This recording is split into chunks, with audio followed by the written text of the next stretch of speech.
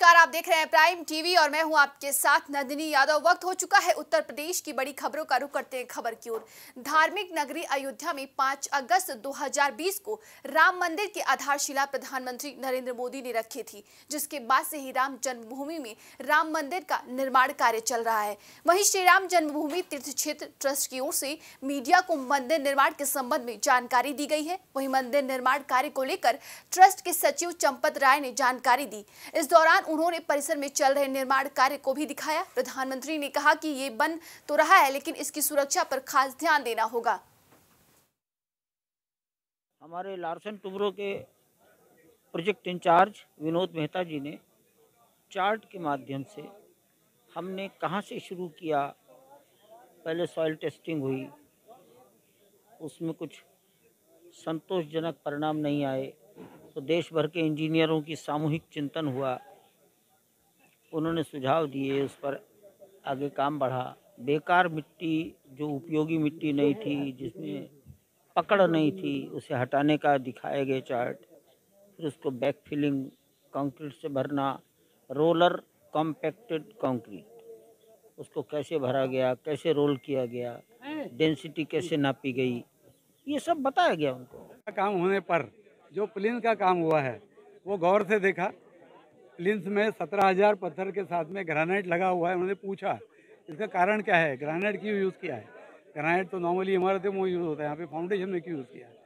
तो हमने ये कहा कि ग्रेनाइट के होते हुए पानी का एक बूंद भी उसमें एब्सॉर्ब नहीं होगा। तो एक हज़ार साल की आयु के लिए मूल कारण ग्रेनाइट के पत्थर है, जो सत्रह हज़ार पत्थर इस मंदिर को झेलते हुए एक हज़ार साल तक रहेंगे।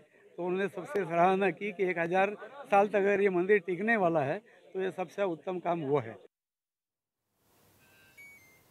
खबर फरीदाबाद से है, जहाँ कल होने वाली गृह मंत्री अमित शाह की रैली को लेकर आज भारी संख्या में रैली स्थल पर पुलिस बल और सुरक्षा कर्मियों ने डॉग स्क्वाड की मदद से स्टेज और पंडाल का जायजा लिया। इस मौके पर डिप्टी कमिश्नर ज़िले के तमाम अलाधिकारी रैली स्थल पर मौजूद रहे और पुख्ता प्रबंधों के अलावा रैली में आने वाले आम लोगों और वीआईपी के रूट प्लान का जायजा भी लिया। तैयारियाँ पूरी हैं गृह मंत्री केंद्रीय सरकार यहाँ पे आ रहे हैं कुछ इनोग्रेशन है तो उसके बाद में चिंतन शिविर है तो सभी की तैयारियाँ हमारी पूरी हैं। अगर हम सुरक्षा की बात करें तो किस तरह की सुरक्षा है सुरक्षा के लिहाज से भी सारी तैयारियाँ हमारी पूरी है तो इसमें लोगों के आने का अलग रास्ता है वीआईपी के आने का अलग रास्ता है पूरी व्यवस्था सही से करवा दी गई है। रायबरेली में दीपावली के त्योहार को लेकर जहाँ शहरों में पटाखों की दुकानों सजी हैं तो वहीं महँगाई के कारण सुनी रही दीपावली दुकानदारों से बात की गई, जिस पर उन्होंने बताया कि उम्मीद नहीं थी कि पटाखों की दुकानदारी मंदी रहेगी। ग्राहकों की बात की जाए तो उन्होंने बताया कि जो पटाखे दस पंद्रह रुपए से बीस में मिल जाते थे, अब उनकी कीमत पचास से साठ हो गई है। ऐसे में ग्राहकों का कहना है, वो सिर्फ़ बच्चों के लिए कम पैसे वाले पटाखे खरीद पाते हैं। महँगाई तो बहुत बढ़ चुकी है जो थोड़ा बहुत सस्ता मिल जाए वही लेना है। अब जो पिछले साल डेढ़ दो हज़ार मतलब हज़ार में हम लोग लेते थे वही आज आज वही रेट पाँच हज़ार में हो गया। पाँच। बस यही फ़र्क है चल चल रहा है लेकिन मजबूरी है मजबूरी का थोड़ा बहुत लेना पड़ता है। पहले पचास कर लेते थे। नहीं तो फिर घर में बच्चों की खुशियाँ भी कहेगी धंधा बहुत मतलब कमज़ोर धंधा। मतलब दुकानदारी नाम की चीज़ ही नहीं रहेगी यहाँ। इतनी ज़्यादा महँगाई है लोगों के जेब में पैसा ही नहीं है। तो लोग खरीदे क्या? जो आइटम दो हज़ार खरीदता था, वो पाँच सौ रुपये लेके चला जा रहा है। माल देख रहे हैं, बिल्कुल गंजा हुआ अभी तक। शाहजहांपुर महानगर में गोवर्धन का पर्व बुधवार को हर्षोल्लास के साथ मनाया गया। इस दौरान महिलाओं ने आज श्रृंगार कर अपने अपने घरों में गोवर्धन भगवान बनाकर पूजा अर्चना कर परिवार की खुशहाली की दुआ मांगी। महिलाओं ने बताया कि वैसे तो दीपावली के अगले दिन गोवर्धन पूजा होती है, लेकिन इस बार दीपावली के अगले दिन सूर्य ग्रहण पड़ने के चलते ये पूजा मंगलवार को नहीं हो सकी। साथ ही महिलाओं ने बताया कि बच्चे इस पूजा को लेकर काफ़ी उत्साहित रहते हैं।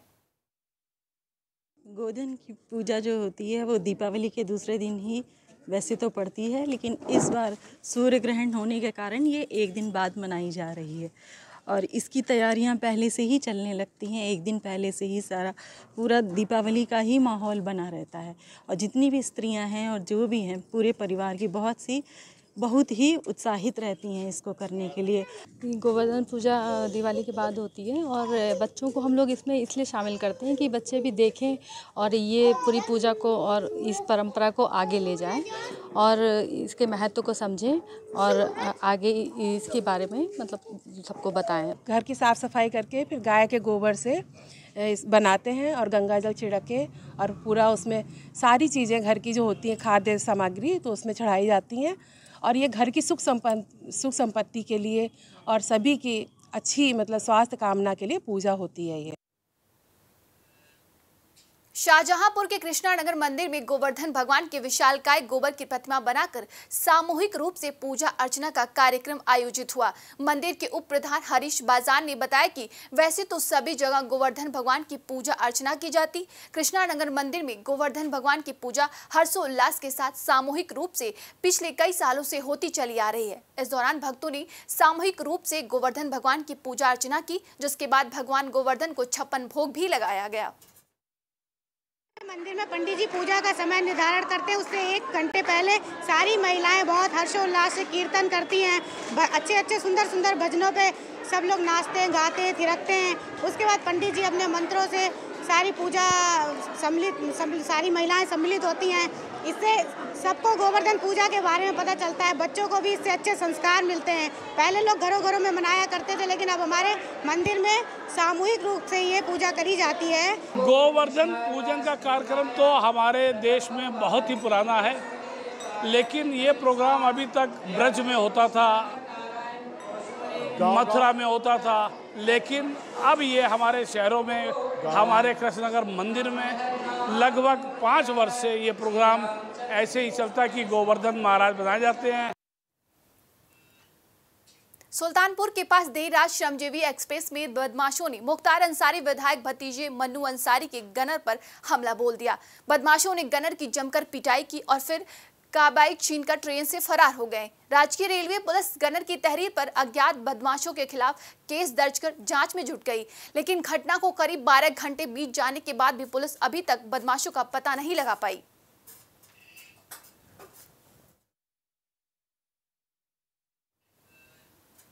जमालपुर थाना सिविल लाइन क्षेत्र अंतर्गत जमालपुर रेलवे क्रॉसिंग पर ट्रेन की चपेट में आने से एक युवक की दर्दनाक मौत हो गई। घटना की सूचना पर पुलिस मौके पर पहुँची और मृतक के शव को कब्जे में लेकर पोस्टमार्टम के लिए भेज दिया है। परिजनों के बताए अनुसार दो दिन बाद मृतक युवक की शादी थी। फाटक में मालूम बात कर रहे थे मैं ही फाटक पे बताया गया लड़का कट गया है। जब हम चौकी गए चौकी में फ़ोटो देखा है उसके बाद में पता लगी है कि लड़का हमारा ही है। ट्रेन की चपेट में आया? अच्छा शादी वादी थी इसकी? जी उनतीस तारीख की शादी थी इसकी। शासन के निर्देश के बाद ज़िले में मदरसे का सत्यापन का काम लगभग पूरा कर लिया गया है। वहीं गोरखपुर की बात करें तो यहाँ एक मदरसे ऐसे मिले हैं जिन्हें मान्यता नहीं मिली। सबसे ज़्यादा गैर मान्यता प्राप्त मदरसे गोरखपुर की सदर तहसील में मिले हैं। गोरखपुर सदर तहसील में उनसठ मदरसे हैं। गोरखपुर के गोला तहसील के चौतीस मदरसों का भी स्थलीय सत्यापन शेष रह गया है। गोला तहसील का स्थलीय सत्यापन करने के बाद ये पूरी रिपोर्ट शासन को भेज दी जाएगी। शासन द्वारा मिले निर्देश के बाद आगे की कार्यवाही की जाएगी।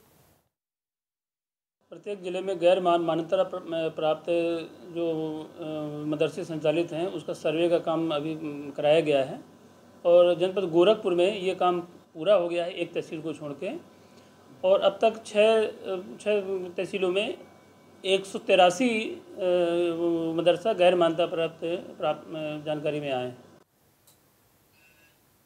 खबर फरीदाबाद से है, जहाँ पिछले दो साल से कोरोना के चलते त्योहार फीके रहे। अब गोवर्धन पर्व को लेकर लोगों में उत्साह देखने को मिल रहा है। जगह जगह पर अन्नकूट का भंडारा किया जा रहा है। दीपावली के अगले दिन ही गोवर्धन का पर्व मनाया जाता है। हालाँकि अब की बार सूर्य ग्रहण के चलते गोवर्धन का पर्व आज के दिन मनाया जा रहा है। गोवर्धन पर्वत की पूजा की जाती है और सारे व्यंजन मिलाकर भगवान गोवर्धन को अन्नकूट का भोग लगाया जाता है।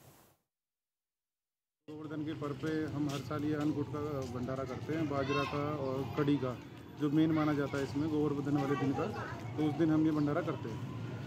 जी। और पिछले दो साल से अगर देखा जाए तो कोरोना काल में हम जूझ रहे थे, कोरोना की बीमारी से जूझ रहे थे, उसके बाद अब हमें मौका मिला है कि हम ये भंडारा को भंडारे को कर सकें। जिस दिन हम श्री कृष्ण जी को साक्षी मानकर और भगवान गोवर्धन जी को साक्षी मानकर उनकी पूजा करते हैं। और ये माना तो ये जाता था कि भाई दिवाली के नेक्स्ट डे ही ये होता है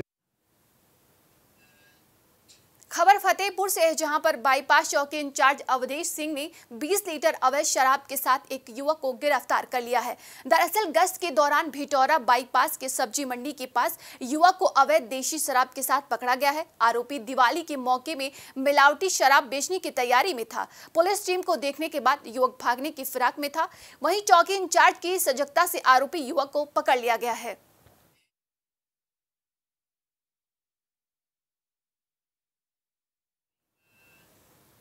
फरुखाबाद में सोशल मीडिया पर कट्टर हिंदुवादी लिखना नाबालिग को महँगा पड़ गया। वहीं पोस्ट लिखने को लेकर कई समुदाय, विशेष के दबंगों ने हिंदू समुदाय के युवक पर हमला बोला है।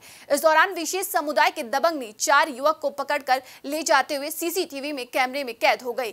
कई नामजद और 40 से 45 अज्ञात आरोपियों पर मुकदमा दर्ज किया गया। विशेष समुदाय के दबंग युवकों ने हिंदू समुदाय के चारों युवकों के साथ जमकर मारपीट की। ये मामला थाना कस्बा शमशाबाद का है। हमारे इंस्टाग्राम पर कट्टर हिंदू लिखो दो।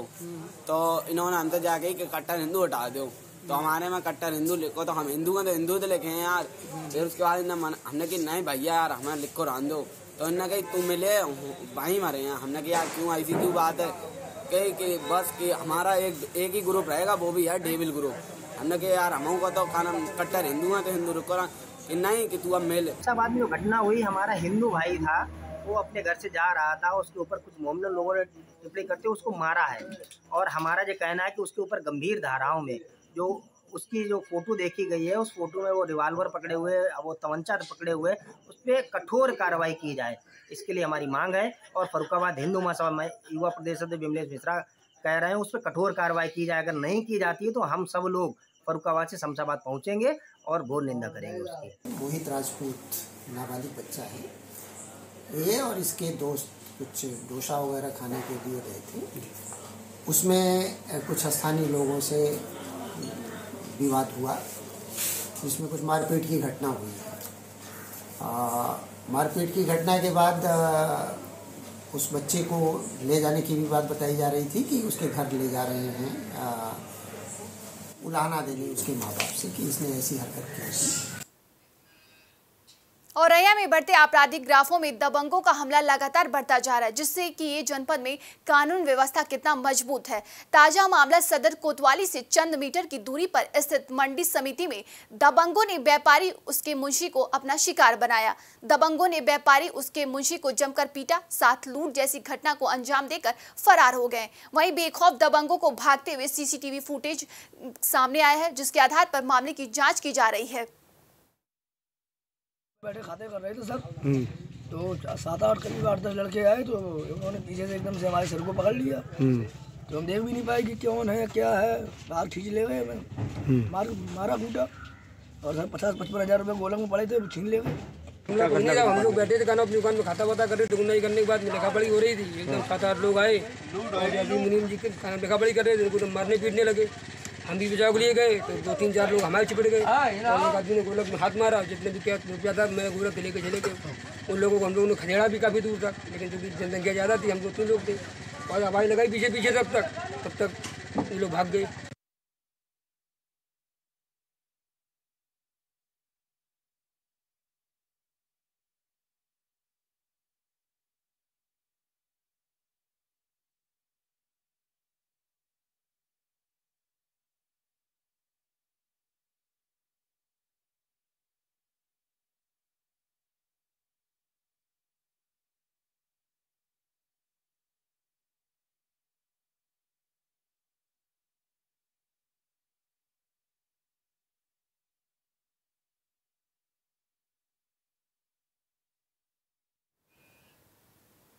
औरैया में युवकों और पुरुषों के बाद अब महिला ने कमान संभाली है। अभी तक सिर्फ़ युवा और पुरुष ही तमंचे या असलहे के साथ फायरिंग करते रील बनाते हुए सोशल मीडिया में वायरल होते थे।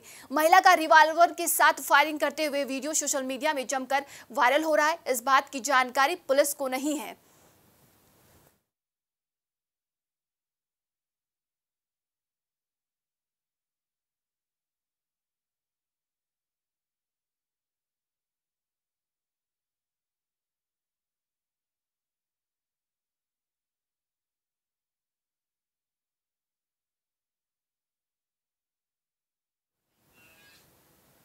अमेठी में मस्जिद के निर्माण को लेकर फर्जी तरीके से चंदा मांगना मुस्लिम व्यक्ति को महँगा पड़ गया। चंदा मांगते हुए एक अधेड़ व्यक्ति के ग्रामीण ने पकड़कर उठक बैठक करवाया। वहीं मौके पर मौजूद दर्जनों की संख्या में लोगों ने तमाशा देख रहे थे।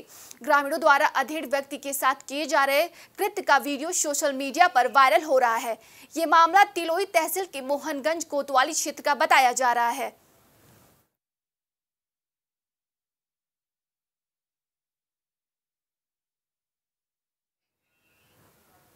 महानगर के सेंटर पॉइंट चौराहे पर बाइकर्स गैंग से किसी बात को लेकर हुई कहासुनी के विवाद में गैंग सदस्यों ने रामघाट रोड पर पूर्व एमयू के छात्र को घेर लिया और रंगबाजी को लेकर उस पर फायरिंग कर दी। इसमें पूर्व एमयू के छात्र के सीने में गोली लगी, जबकि उसके साथी को पैर में गोली लगी है। दोनों को गंभीर हालत में जेएन मेडिकल कॉलेज में भर्ती कराया गया। वहीं पुलिस घटनास्थल पर मौजूद चश्मदीद की निशानदेही पर हमलावरों की तलाश में जुट गई है। इसके लिए तीन टीमें गठित की गई हैं।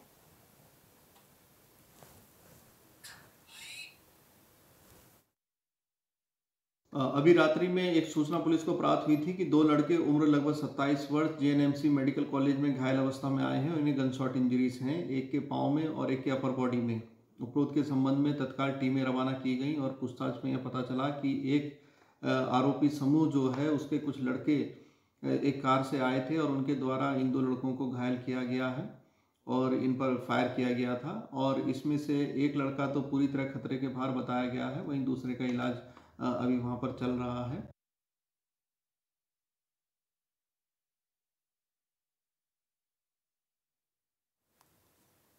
खबर और आया एरवा कटरा थाना क्षेत्र से, जहाँ पर बलात्कार के मामले में वंचित चल रहे अपराधी टीपू यादव को मुखबिर की सूचना पर कुदरकोट तिराह से गिरफ़्तार कर लिया गया है और माननीय न्यायालय भेज दिया गया है।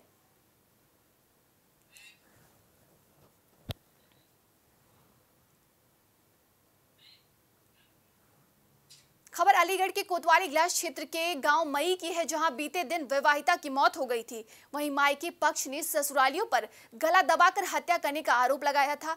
बता दें कि घटना के संबंध में पाँच लोगों के खिलाफ रिपोर्ट दर्ज कराई गई थी। लंबे समय से आरोपियों की गिरफ्तारी नहीं हुई, जिसको लेकर परिजनों में आक्रोश है।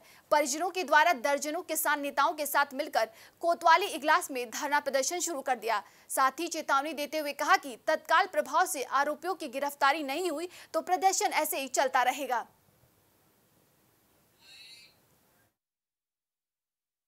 मेरे गाँव की बेटी थी, उसको गला दबा के और कई चोट उसको पोस्टमार्टम में आई उसकी हत्या कर दी गई थी।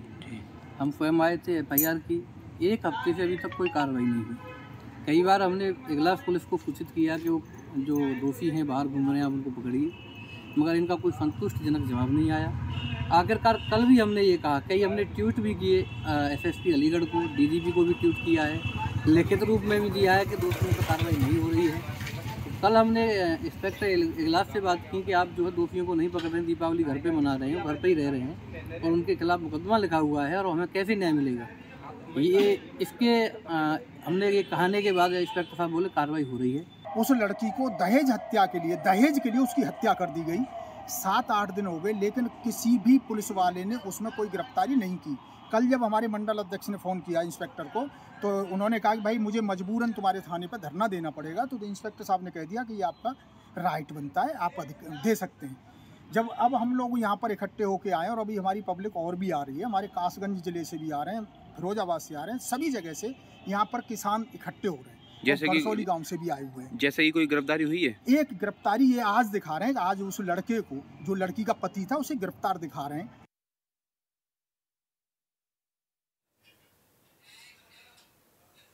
अमेठी में राजपूत ढाबा के कमरे में दो लड़की और लड़के पकड़े गए। पुलिस ने राजपूत ढाबा में चल रहे सेक्स रैकेट की सूचना पर छापा मारा। इस दौरान संदिग्ध अवस्था में पुलिस के छापे में दो जोड़ों को पुलिस ने पकड़ लिया। दोनों जोड़ों को पकड़कर थाने में पुलिस पूछताछ कर रही है। वहीं पुलिस ने परिजनों को सूचना दी। ये मामला अमेठी कोतवाली क्षेत्र के दुर्गापुर रोड स्थित राजपूत ढाबा का है।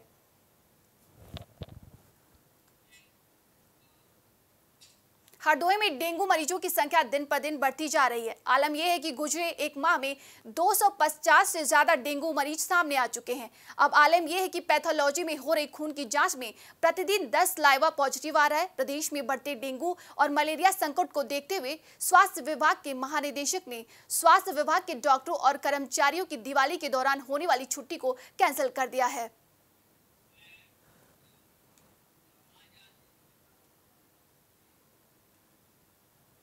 राजधानी के मोहनलालगंज थाना क्षेत्र में एक बुज़ुर्ग की हत्या कर शव को झाड़ियों में फेंक दिया गया। आरोपियों ने बुज़ुर्ग की पहले गला रेत कर हत्या की और फिर उनका शव सुनसान इलाके में ले जाकर सड़क किनारे झाड़ियों में फेंक कर फरार हो गए, जिसकी सूचना मोहनलालगंज पुलिस को मिली। मौके पर पहुँची पुलिस ने शव को कब्जे में लेकर पोस्टमार्टम के लिए भेज दिया और घटना की तमाम पहलुओं पर जाँच जारी है। ये थाना मोहनलालगंज के खुजेटा गाँव में आज सुबह नौ बजे सूचना मिली कि एक डेड बॉडी पड़ी हुई है नहर के किनारे। इस डेड बॉडी की शिनाख्त की गई, जो इसके पास से डायरी भी मिली है। जो हम लोग जब काम्बिंग कराए हैं तो वहाँ पर डायरी भी मिली है और कुछ सामान भी मिले हैं। तो उससे पता चला है कि नंद कुमार तिवारी हैं ये, जो मर्चेंट नेवी से रिटायर हुए हैं। इनकी उम्र लगभग बासठ साल है और ये बदलापुर, जौनपुर के रहने वाले हैं, मूल निवासी। अलीगढ़ में एक बार फिर तेज रफ्तार का कहर देखने को मिला, जहाँ एक युवक को अज्ञात वाहन ने टक्कर मार दी, जिसकी मौके पर ही मौत हो गई। आनर फानन में इसकी सूचना ग्रामीणों को दी गई। मौके पर पहुँचे ग्रामीणों के द्वारा मृतक की शिनाखत चौधरी नाम के युवक के रूप में की गई। वही युवक होटल पर काम करता था। देर रात किसी अज्ञात वाहन की चपेट में आकर युवक की मौत हो गई। शव सड़क पर पड़ा होने के कारण आसपास के क्षेत्र में हड़कंप मच गया, जिसके बाद पुलिस के द्वारा शव को कब्जे में लेकर पोस्टमार्टम के लिए भेज दिया गया।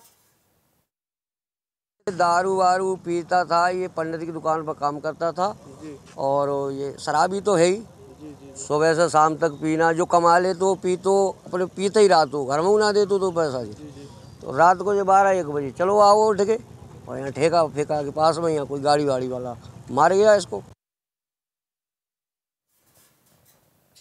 खबर बुलंदशहर से जहाँ चोरी और लूट की वारदातों को अंजाम देने वाले एक नाबालिग समेत तीन बदमाशों को गिरफ़्तार किया गया। साथ ही आरोपियों के कब्जे से संतावन हज़ार रुपए, सोने और चांदी के आभूषण, दो तमंचे और दो कारतूस बरामद किए गए। बता दें, बुलंदशहर समेत तीन जनपदों की छह वारदातों का भी खुलासा किया गया है।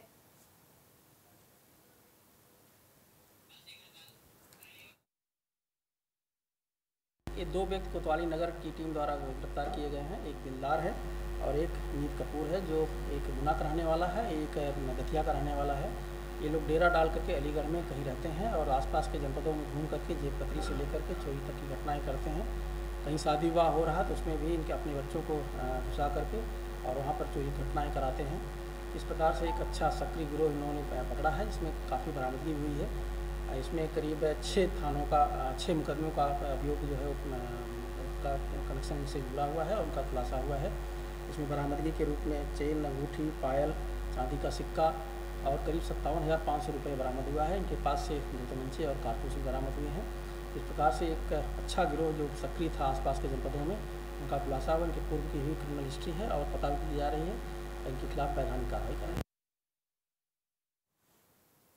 गाजियाबाद के फरूख नगर गाँव में करीब एक महीने पहले मारपीट के बाद एक युवक को हिंडा नदी में डाल दिया गया था।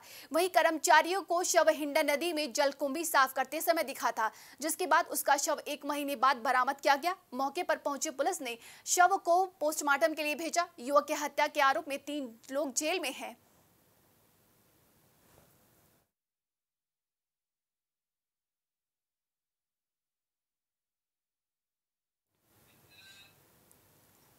उत्तर प्रदेश की खबरों में बस इतना ही। देश दुनिया की तमाम खबरों के लिए देखते रहिए प्राइम टीवी